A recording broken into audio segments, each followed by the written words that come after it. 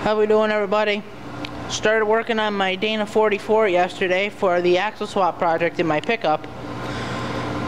Got it all inspected and now see what I'm gonna have to get for parts. We are gonna be doing all the U-joints. This U-joint here on the passenger side axle shaft is no good. It's seized. No big deal. We're replacing that. We're going to be replacing all the ball joints. The passenger side ball joints are the originals. They got 139,000, 140,000 miles on them. Good idea to replace them. Now, the driver side ball joints are no good. They are loose. This side was also in a fire when the truck caught fire from the cruise control cancel switch on the master cylinder catching fire. So they were probably under a lot of heat. Good idea to replace them. Now, they have been done before. Not sure how well you can see that, but in the middle of the frame is a grease fitting. So somebody has done the, the driver's side ball joints at some point. Who knows when? I don't know how many miles they have on them.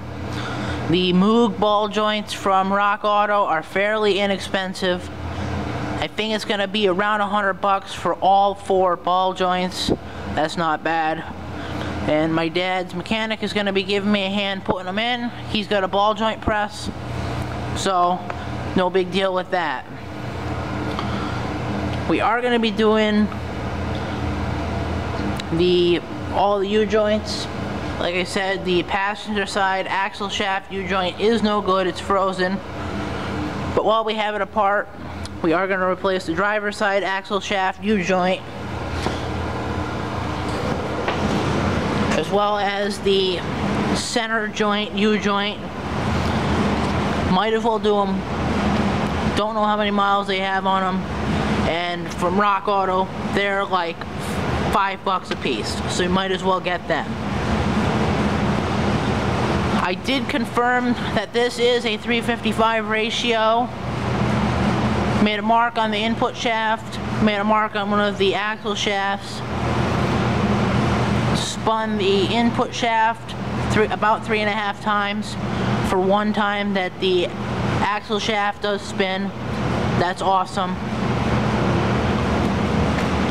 we're also going to be replacing the axle pivot bushings. Good time to replace them. The axle's out of the truck. I've already got polyurethane ones to go in place of these rubber ones. Polyurethane, they're a little bit better performance anyways. We're also going to be removing these mangled brake shields on both sides. Going to be replacing the rotors. Again, they were in the fire, so they're probably warped. And while we're replacing the rotors, we're going to be repacking the wheel bearings. Replacing the hub seals. We're also going to be removing these automatic locking hubs, which never really worked that well, even when they were brand new. As you saw in my last video, I've already got the Warn premium hubs to install. So, that'll be good. I also got the spindle nut kit, as these have got the three screw hubs, and you need to change out the spindle nuts. I let the oil drain overnight. It actually didn't look that bad. There was no water in it. So we're just going to be refilling that when we're all done refurbishing the axle. And the only other piece that needs to be done is the driver side radius arm. You can see this, the end where it goes into the bushing is all worn out. Whereas on the passenger side, it's all nice.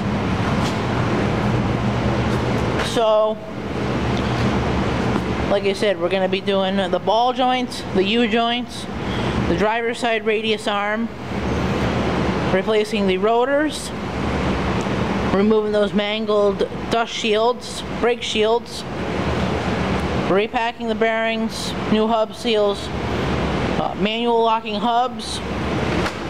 Now we are probably going to have a little less than 500 bucks into the front axle. However, that's going to give me peace of mind knowing that everything has been done so that I don't have to do it down the road. See you guys hopefully in the next video. We're going to be starting to pull the hubs and everything off so that we can start doing the U-joints, ball joints, all that good fun stuff. So, thanks for watching guys. Bye.